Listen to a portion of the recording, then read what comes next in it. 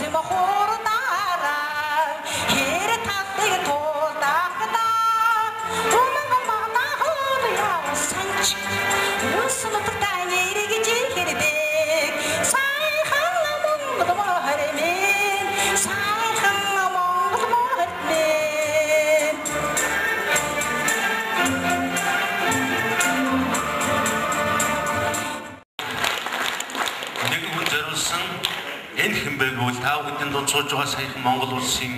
урлагийн гавьяач хөтгөлтөнд солоод шагнуулсан манай нэр зураач байдаг.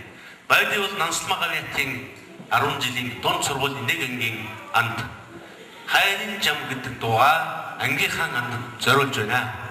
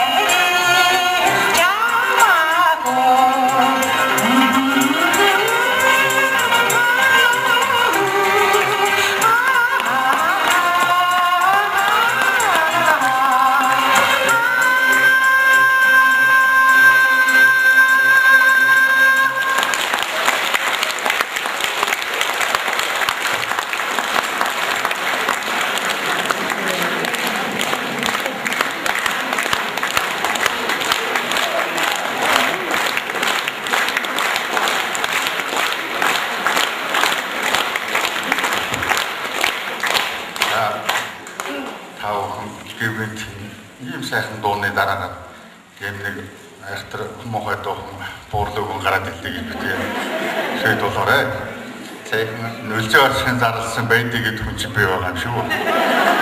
Түүнээс түүн зад насмааван одоо олон жилийн турш.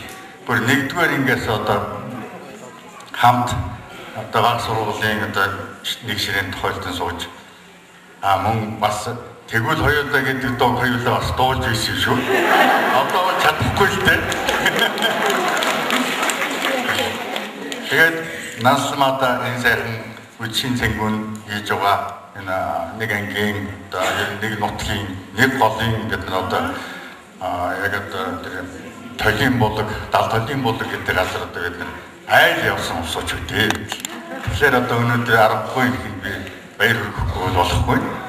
За тэгээд би наслмада уран бүтээлийн асар их амжилт өрөөл а дуу хоолойн одоо хэвээрээ байна.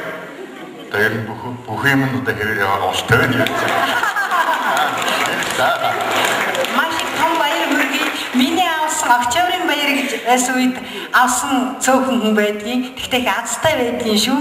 Миний яг авсан үе дээр гаяа тавсанд нь ангийнхаа хүүхдэд баярлалаа. Баяр хүргье. Тэрний явдлууд одоо тэр дэлгэр ханган бол толин бүлэгтэй холбоотой байгаа. За баярлалаа. Монгол ардын хэр жолж чуй хөгжим одрын адуучин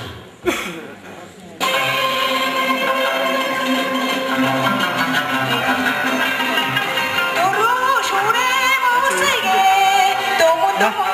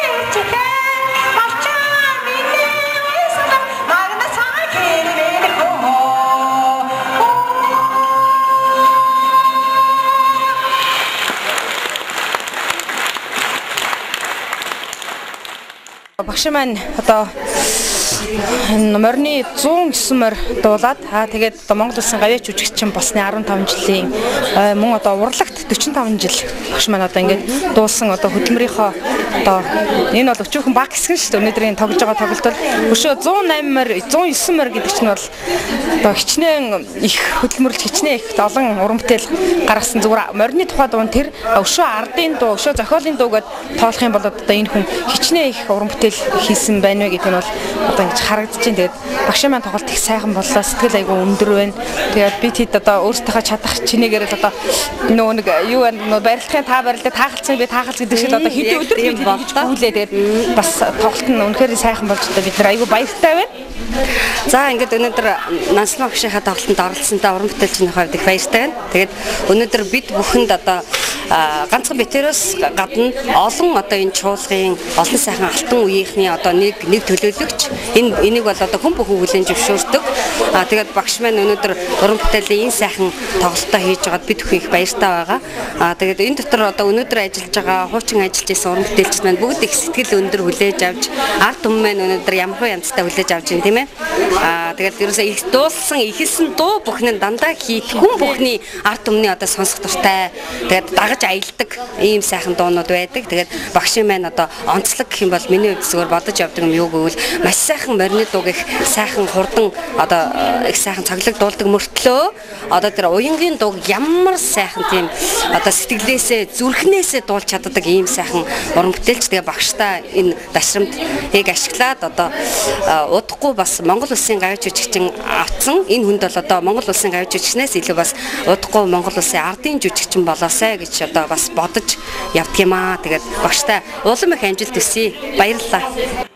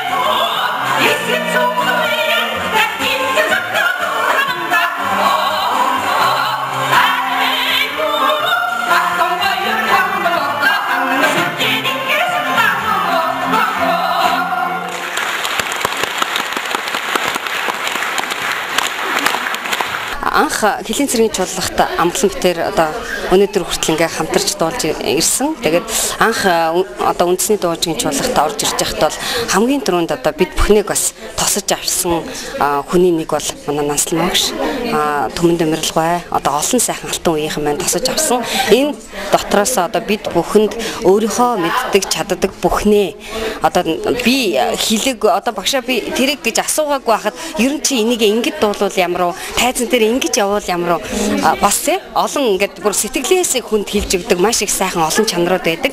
Тэгээ багш маань хизээд одоо байнгын одоо өөрийгөө их гоё бас бие их гоё авч явдаг өдийн насандаа ингэж дуулж байгаад би түүхийг баяртай байгаа. Тэгээ багштай бол одоо эрүүлийн их сайн сайхныг дандаа сансан бүхэн сэтгэжлэн бүтэж байх болтугай гэж өрөөё.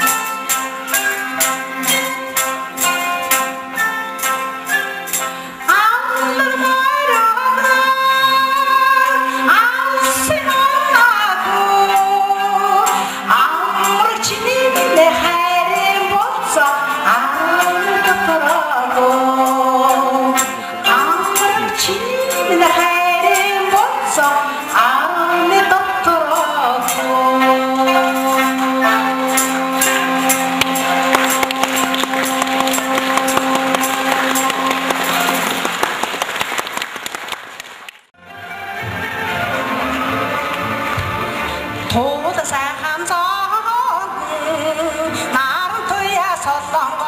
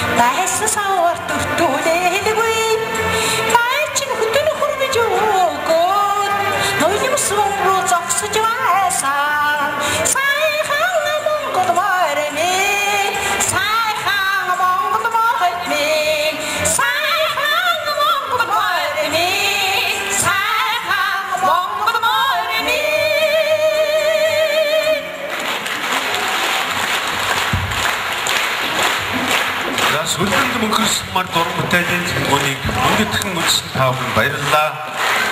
Та бүхний цаашдын ажил амьдрал аз жаргал сайн сайхан өсөн ёрой энэ тоглолтод оролцсон үндэсний найр хөгжим удирдаач Монгол улсын гавьяа жүжигчин Сүндэд удирдаач Гамбат нартай болон бүхэл уран бүтээлч дуучдаа уран бүтээлийн нэг өндөр амжилтыг хүсэн ёрой. За тайзан дээр дэлгэр хангасмын засаг дарга гавьяатад баяр хүргэхээр ирсэн байна. Микрофон шилжүүлье. За юуны өмнө энд хуралцсан гэсэн та бүхний энэ үчийн амгалан айлтгая. Тэгэхээр Монгол улсад урлаг соёлын салбарт хамгийн олон гавьяаттай, хамгийн олон алдартай сум бол манай Дундгой аймгийн Дэлгэр хангас сум юм аа. Энэхүү олон гавьяатнуудын маань нэг Монгол улсын гавьяа жүжигчин та бидний дунд морины хэмээн алдарсан Насламаа гэж маань өнөөдөр уран бүтээлийн цэнгүүнээ хийж байгаа явдалд нутгийн зөн олны нэрийн өмнөөс халуун мэдлэгээр зөвж эрүүл сайн сайхан хүнийг хүсэн өрөөж байна. Ингээд нутгийн зөн олныг төлөөж нэгэн өргөмжил гардуулж байгааг та бүхэнд уншиж танилцуулъя. Өргөмжил эрхэм мөндөд Настамаа танд дуу хүрийн нутгийн алтан зөмбөр голомдуулсан дуграан төрлөг тасахгүй амин халуун заяа болсон дэлхийн буурал зулай Дэлгэр хангай нутгийн уугуул Монгол улсын гавьяа жүжигчин Морин Эрдэнийн эзэн танд уран бүтээлийн өндөр амжилт хүсч ус нутгийн зам олны халуун мэнчлэгийг ариун цагаан сэтгэлийн бэлэг болгон алт цэнхэр хадга дэлгэн байж морьтой ардын нартай заяаг сүүгээр ардан Монгол төрийн алтан сүлдэнд сүстэн мөргөж энэхүү өргөмжлөлийг гардуулж байна. Урлагийн тэнгэр янжлан бурхан үргэлж таныг ээг болтугай. Дэлгэрэнгээ сумын иргэдийн урлын тэргүүлэгчид засаг даргын хамгийн газар гэсэн өргөмжлөлийг 100 сая төгрөг 9 цагаан онтой бэлэг болгон барьж байгааг хүлээн авна уу.